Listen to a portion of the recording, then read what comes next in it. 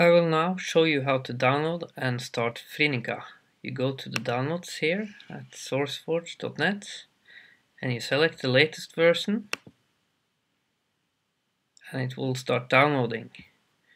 And I've already downloaded it so we can go to my downloads folder which we can see here and then I'll get an, uh, a file here that you should extract like this and you select where to extract it and we can go on extracting.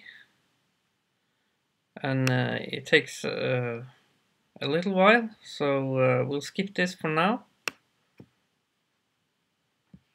And we'll go directly to my extracted folder here. And it, as you can see there's a file here called Frinika and you should also remember to read the readme file which contains some more details.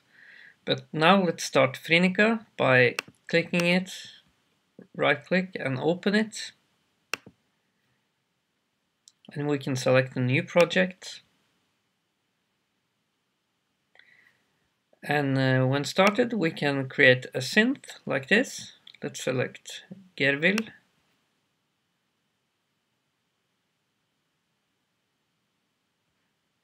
And we can add MIDI track so that we can play. We need to select the synth that we just created and we can add a little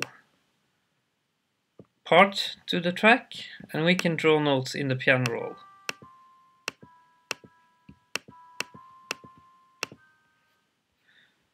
And we can also play via MIDI. You can also connect a real MIDI keyboard, not the one that you just see here. Thanks for watching.